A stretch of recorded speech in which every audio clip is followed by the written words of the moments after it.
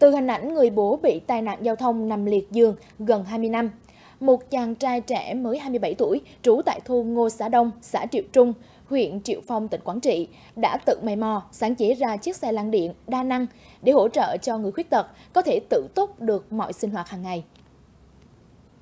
Chiếc xe lăn đa năng vừa hỗ trợ di chuyển, vừa hỗ trợ người khuyết tật có thể đứng dậy hoặc nằm xuống nghỉ ngơi.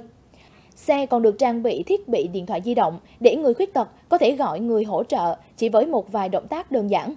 Lê Văn Hóa, chàng trai được trao giải nhất cuộc thi sáng tạo khoa học kỹ thuật tỉnh Quảng Trị cuối năm 2021 là tác giả của chiếc xe này.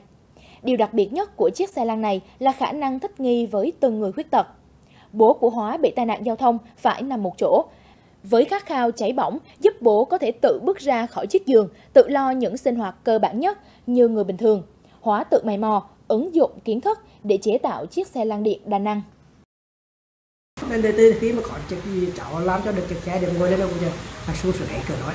Là không không dùng từ đấy không có dùng bây giờ từ cái gì mà mà bây giờ tạo được rồi trung chuyện nó thế như từ giả như mình mình mình đây bình thường đấy mà từ lúc bình thường đang còn bình thường và đau đây là một trận đã năm liệt rồi là làm đau khổ được đấy. Trở qua trở về điều như người ngồi lên đừng chịu điều như người cả.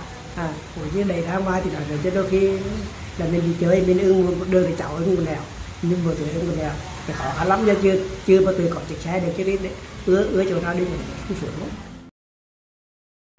với Hóa, được nhìn thấy người khuyết tật trở về gần với cuộc sống bình thường là cảm giác hạnh phúc nhất. Để nuôi khát khao chế tạo xe lăn điện đa năng cho người khuyết tật, Hóa mở một xưởng sửa chữa, tái chế các loại xe máy điện cho học sinh ở gần nhà.